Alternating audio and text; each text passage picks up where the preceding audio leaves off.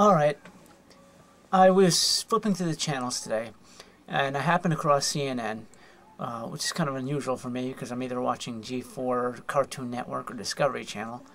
Um, anyway, they had a, uh, they were covering a story about a woman who had uh, nipple piercings, uh, and she went through security, and they they pulled her out of line and uh, basically humiliated her. Uh, told her that she needed to take the uh, the piercings out, and uh, apparently they had to use pliers.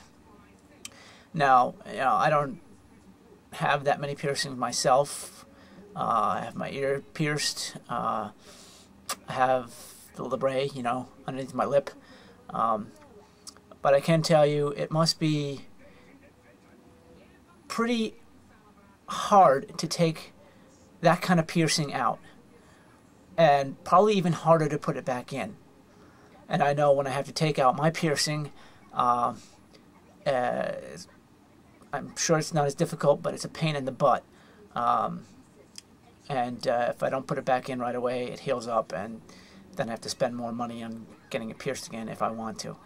Um, anyway, I don't know, you know, it must have been a whole group of guys just standing around going, oh, hey, here's an opportunity.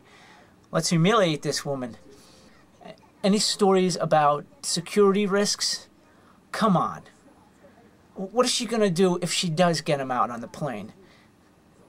Was she going to. I'm going to pierce the skin in about an hour or so. Just sit still. What are you do- What are you doing? Get away from me. Go sit down you could always go with a whole female security, uh, but then again, you might have the whole situation of embarrassing a guy with a whole bunch of, you know, crotch piercings.